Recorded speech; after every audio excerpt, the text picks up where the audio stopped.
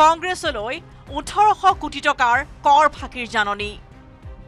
আয়কৰ বিভাগৰ এই জাননী উদ্দেশ্য প্ৰণোদিত বুলি দাবী কংগ্ৰেছীৰ। নিৰ্বাচনী ভয় ভাবুকি খুৱাবলৈকে চৰকাৰৰ নিৰ্দেশত আয়কৰ বিভাগৰ জাননী পঠিওৱাৰ দাবী। জিলাই জিলাই ৰাজীৱ ভৱনত কংগ্ৰেছে কৰিছে প্ৰতিবাদ। ইণ্ডিয়া এলায়েন্সক ভয় কৰিছে। ভয় কৰাৰ কাৰণে তেওঁলোকে যি পাৰে by who can prove they want to defend they want to create such type of situation that our our contestant candidates will not get any fund from anyway ৰাইজক আহ্বান জনাব খুজিছোঁ এনেকৈ যদি চলি থাকে তেনেহ'লে চাৰ্চ পাৰ ইতিমধ্যে গৰ্জন ডাঙৰীয়া গৰ্জন গৰ্জন কৰিছেই যে চাৰ্চ পাৰ যদি হয় তেনেহ'লে অপজিশ্যন নাথাকে অপজিশ্যন যদি নাথাকে this is not a democratic country তেওঁলোকে যেনেকৈ চাইনা চলি আছে ৰাছিয়া চলি আছে তেনেকৈ তেওঁলোকে চলাব খুজিছে আয়কৰ বিভাগৰ জাননীক লৈ শনিবাৰে সৰব হৈ পৰিল ৰাজীৱ ভৱন মহানগৰীত ৰাজীৱ ভৱনৰ ভিতৰে বাহিৰে সাব্যস্ত হ'ল উত্তাল প্ৰতিবাদ। কংগ্ৰেছৰ অৰ্ধ শতাধিক কৰ্মীয়ে উত্তাল কৰি তুলিলে ৰাজীৱ ভৱন চৌহদ। দেশত বিজেপিয়ে স্বৈৰাচাৰী শাসন চলোৱাৰ অভিযোগ তুলিলে কংগ্ৰেছে। বিজেপিৰ স্বৈৰাচাৰী শাসন ব্যৱস্থাই নিঃশেষ কৰিছে গণতন্ত্ৰ।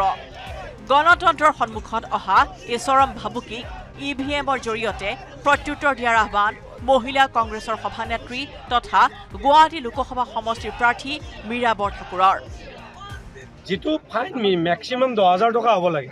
সেইটোৰ ফাইন এক হাজাৰ আঠশ তেইছ কোটি টকাৰ জৰিমনা বিহা যিটো এই যিটো প্ৰচেছ সেইটো কোৰ্টত তেখেতসকল হাৰিব। তেতিয়ালৈকে আমি যুঁজিব লাগিল। নিৰ্বাচনৰ আগত আমাৰ যাতে ধন সম্পূৰ্ণৰূপে নোহোৱা হৈ যায়। কংগ্ৰেছ দলক যাতে বিপৰ্যস্ত কৰিব পাৰে। তাৰ কাৰণে প্ৰচেষ্টা লৈছে। দেশত মোদী চৰকাৰে সৰ্বোচ্চ তদন্তকাৰী সংস্থাসমূহক নিজৰ পকেটত ৰাখিছে। সেয়ে নিজ ইচ্ছাত সময়ে সময়ে ব্যৱহাৰ কৰাৰ অভিযোগ। যদি চৰকাৰৰ এয়াই নিয়মিত পদক্ষেপ হ'লহেঁতেন তেন্তে কিয় নিৰ্বাচনৰ আগতে জাননী প্ৰেৰণ নহ'ল বুলিও প্ৰশ্ন।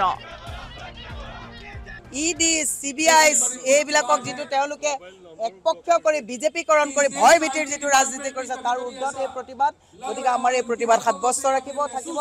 মই অসমৰ সুধী সমাজক বৃহত্তৰ গুৱাহাটীবাসী লোকসভা সমষ্টিৰ সকলো সন্মানীয় নাগৰিকক আহ্বান জনাইছোঁ যে আপোনালোকে বিবেক বোধ প্ৰদান কৰি এই স্বেচ্ছাচাৰী ভ্ৰষ্টাচাৰী এইখন চৰকাৰক উৎখাত কৰাত আপোনালোকে অংশীদাৰিত্ব ল'ব বুলি মই সকলোকে হাত জোৰ কৰি আহ্বান জনাইছোঁ।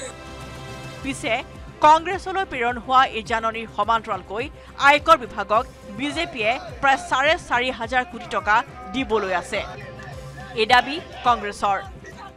যদি কংগ্ৰেছে কৰ দিব লাগে তেন্তে বিজেপিয়ে কিয় ৰেহাই পাব বুলি প্ৰশ্ন আনিলে প্ৰদেশ কংগ্ৰেছে। মহানগৰীৰ সমান্তৰালভাৱে ৰাজ্যৰ আন প্ৰান্ততো দেখা গ'ল কংগ্ৰেছৰ প্ৰতিবাদ। নলবাৰীতো আয়কৰ ভৱনৰ সন্মুখত উত্তাল প্ৰতিবাদ সাব্যস্ত কৰে জিলা কংগ্ৰেছৰ কৰ্মীসকলে। নলবাৰীৰ পৰা কৈলাশ ডেকাৰ সহযোগত বলেন ভট্টাচাৰ্যৰ report news eighteen Assam north east.